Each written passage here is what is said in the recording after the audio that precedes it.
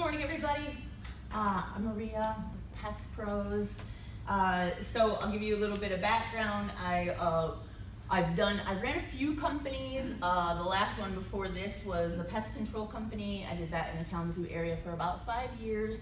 Um, I decided to leave that uh, and I went up and sold pesticides in Grand Rapids for about a year.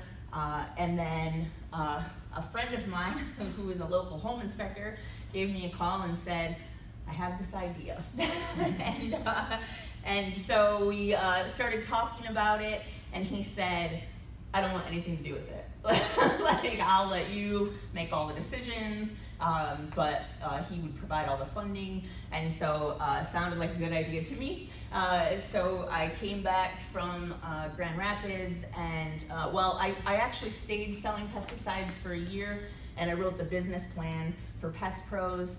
Uh, so that was kind of fun. So we are now in our second year.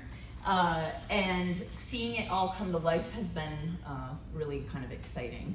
Uh, so uh, we these are our these are our trucks. Probably one of the best decisions that we made was having the trucks wrapped. Um, we only have three or four trucks, but everybody always says I see your trucks everywhere. so um, so that so this is our um, our mission statement empowering our team to help enrich the lives of our community through service, education, and dignity. Uh, so really the whole reason, there's two reasons uh, that we kind of started this whole venture. One for me personally is that I just want to enjoy getting up and going to work every single day. I've been in some situations where I didn't enjoy getting up and going to work, and so to me, uh, that's really one of the biggest values that I hold. I really, my dream is to be voted best place to work, mm-hmm. um, and so like that's one of the things that we really strive for in like uh, in our culture.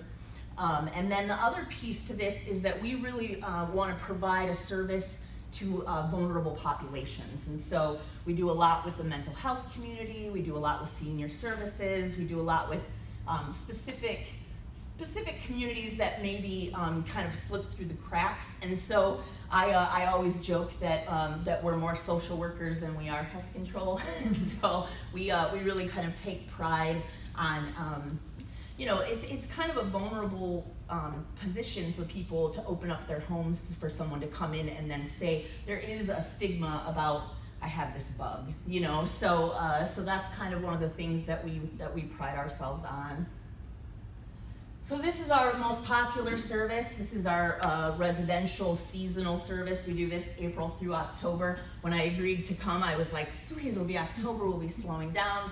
We are absolutely not slowing down. Uh, it is uh, between stink bugs and the mosquito thing that's going on. We have been absolutely slammed, which is a good problem to have, but we're all a little tired. So, uh, so this one is our regular residential um, mosquitoes and fleas and ticks. We add termites, we can do all that different stuff.